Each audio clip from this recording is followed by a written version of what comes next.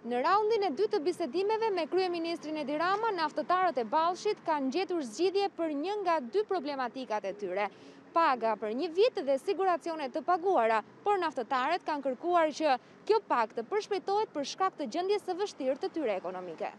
Kemi arritur në dakordësinë që të jepet një pagë prej 400 mijë lekësh për çdo muaj për një periudhë 12 mujore dhe njëkohësisht të paguhen dhe gjithë sigurimet e tjera. Me zgjidhjen e dytë po, jemi të kënaqur me zgjidhjen e dytë, me zgjidhjen që marrim sot. Kurse për detyrimet e prapambetura që kemi të shtrira në kohë, ngelet që të ndiqet deri në kryen e marrjes së këtyre pagave rruga ligjore.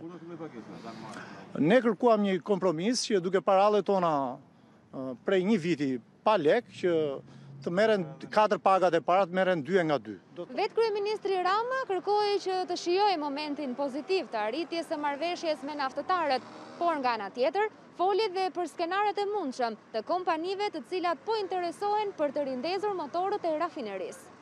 Moment kaq pozitiv dhe njerëzor, ku realisht kemi qarë hallin bashkarisht si një familje dhe kemi materializuar dhe një herë tjetër moton tonë që askush nuk do të jetë vetëm. Ne jemi në kontakt me tre kompani. Edhe janë kompani të mëdha, janë kompani të rëndësishme, por koha që jetojmë është jashtëzakonisht problem.